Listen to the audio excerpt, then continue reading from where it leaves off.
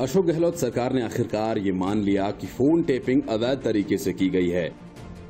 इसके लिए न तो राज्य सरकार ने कोई इजाज़त दी और न ही इस बात की कोई जानकारी थी कि फ़ोन टेपिंग की जा रही है या की गई है।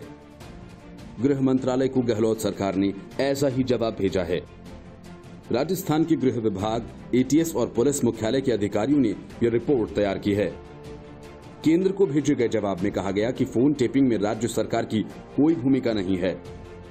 गृह सचिव ने फ़ोन टेपिंग की कोई अनुमति नहीं दी। मुख्य सचिव और गृह विभाग के अतिरिक्त मुख्य सचिव भी फ़ोन टेपिंग मामले पर अनभिज्ञता ज़ाहिर कर चुके हैं। गृह सचिव के स्तर से भी फ़ोन टेपिंग की स्वीकृति नहीं दी गई। गृह सचिव को भी इस बात की जानकारी नहीं है कि फ़ोन टेपिंग हुई। केंद्रीय गृह मंत्रालय को भेजे गए जवाब में कहा गया कि फ़ोन टेपिंग में सरकार पूरी प्रक्रिया का पालन करती है। गृह सचिव की अनुमति लेने के बाद ही पुलिस फ़ोन टेप कर सकती है। अब सवाल यह है कि आखिर एसओपी ने कैसे फ़ोन टेपिंग की?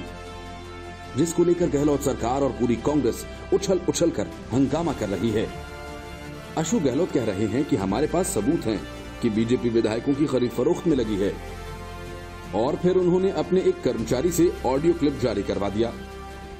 जिसमें कांग्रेस विधायक भंवरलाल शर्मा के साथ कथित तौर पर केंद्रीय मंत्री गजेंद्र सिंह शेखावत की आवाज़ से मिलती जुलती आवाज़ है। न तो ऑडियो की सत्यता की जाँच हुई और न ही ये पता लगा कि रिकॉर्डिंग सोर्स क्या है। लेकिन कांग्रेसी भोंपू ज़ोर ज़ोर से बजने लगा। बीजेपी ने ऑडियो क्लिप पर सवाल उठाया। फ़ोन टेपिंग पर सवाल उठाया। मामले की गंभीरता को देखते हुए गृह मंत्रालय ने राजस्थान के चीफ सेक्रेटरी से फ़ोन टेपिंग की रिपोर्ट मांगी। अब उसी का जवाब गहलोत सरकार ने केंद्र के पास भेजा है। केंद्रीय गृह मंत्रालय ने इस मसले पर राज्य सरकार से 10 से ज़्यादा बिंदुओं पर जानकारी मांगी थी।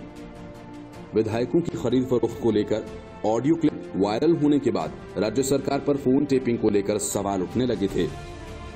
इसके बाद गृह मंत्रालय ने मुख्य सचिव को नोटिस जारी कर जवाब मांगा था। नोटिस में कहा गया था कि मंत्रालय को शिकायत मिली है कि संजय जैन की फ़ोन टेपिंग नियमों के खिलाफ हुई। ये भी पूछा गया था कि फ़ोन टेपिंग किन नियमों के तहत की गई। जैन को इस ऑडियो मामले में दलाल माना गया और वो भी गिरफ़्तार है। राज्य की मुख्य विपक्षी पार्टी बीजेपी ने अशोक गहलोत सरकार पर मंत्री और विधायकों के फ़ोन टेप करने का आरोप लगाया। नेता प्रतिपक्ष गुलाब चंद कटारिया ने कहा कि सरकार फ़ोन टेप करके निजता का उल्लंघन कर रही है। नेता प्रतिपक्ष ने पूरे मामले की सीबीआई से जाँच कराए जाने की मांग की थी।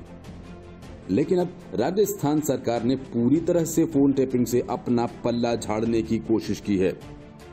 सवाल ये कि अगर फ़ोन टेपिंग नहीं कराई गई तो वे सीधे गहलोत के पास कैसे पहुँच गई? और फिर वहीं से इसे जारी भी करवा दिया गया।